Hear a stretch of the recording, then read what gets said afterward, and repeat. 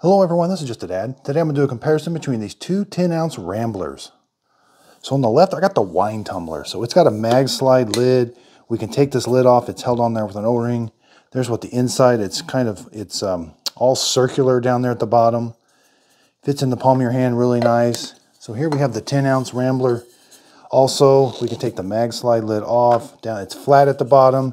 Fits in your hand just maybe just a little bit better, but it is taller and we have the same uh, mag slide lid. Both these mag slide lids are easy to clean. You just lift it up. It's held on there with a magnet. We can clean this, put it back on. And so these mag slide lids are identical.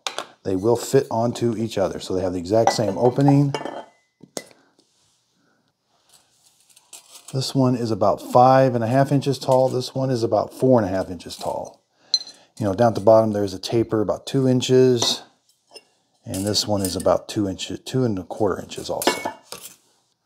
So I hope this comparison video helps. Thanks everybody for watching.